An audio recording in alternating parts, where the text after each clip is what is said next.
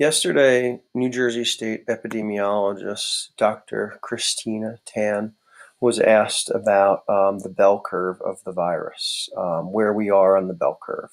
She's going to get asked again, but No, yet, right? I'd like her answer. Um, you know, right now we're actively trying to monitor, uh, you know, the cases, trying to get an intake on the cases. We know nationally we're seeing the case count rise.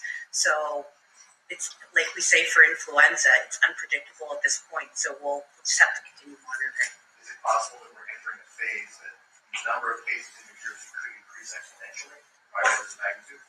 Again, that's an excellent question. And um, to your point about the concept of mitigation and the concept of what, what you're referring to as an epi curve, it's a bell curve, right? And usually for outbreaks, you tend to see a peak and then there's a deceleration of the cases. And what we try to do with um, containment efforts and with mitigation in particular, as we're um, dealing with um, these, uh, if we see larger scale um, uh, community spread, So we want to flatten that curve and then prolong that.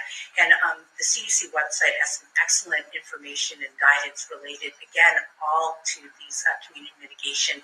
And if you're interested in looking more at the, uh, the modeling and the science, um, it's, it's outlined there really nicely about how to flatten that, that, uh, that curve.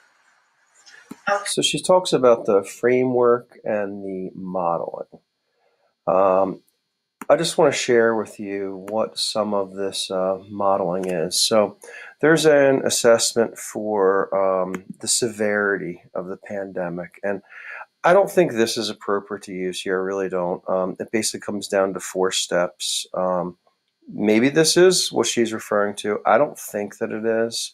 I think what she is referring to is more than likely the pandemic intervals framework, which is written for the influenza because that is probably the most common pandemic epidemic that the CDC deals with on an annual basis. But the six steps determine the actions you should take. So we are definitely beyond investigation and recognition.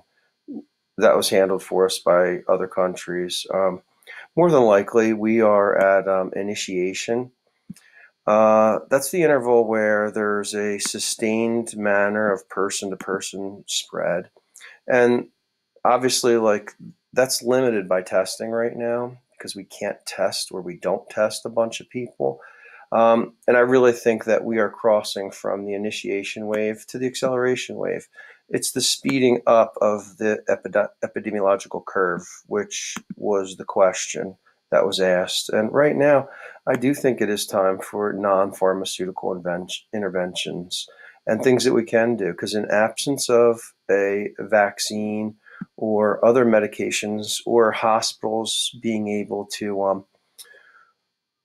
care for as many people as going to get to them, we have to try to reduce the peak of this disease and stretch out the amount of time that people have this so that um, instead of it being one big wave that hits two to four weeks from now, that two to four week wave is spread out over maybe six to eight weeks or hopefully even longer.